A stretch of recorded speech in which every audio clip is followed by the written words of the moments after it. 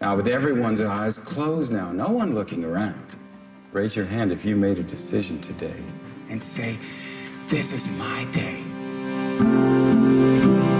I haven't opened a Bible since I was a kid. Then I came along and corrupted you, huh? My kids in the bus! God saved us.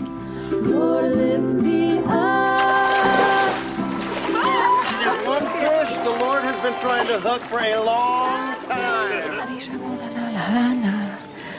What was that? I thought it was so beautiful. It's a prayer language. It's nonsensical. It's probably voodoo. It settles things in your spirit. I want it. Oh, Holy Spirit. Come on, Lord. Come on, Holy Spirit.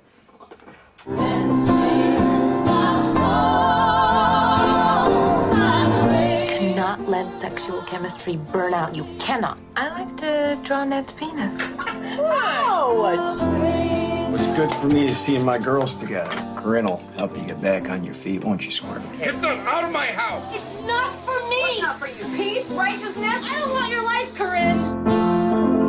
God wants us to come to Him with all our needs and all our desires. Sister, thank you. That's you what can it says in. Hebrews, right? Thank you. What do you say when you look at me? Mother of your children, a virtuous woman, handmaiden of the Lord?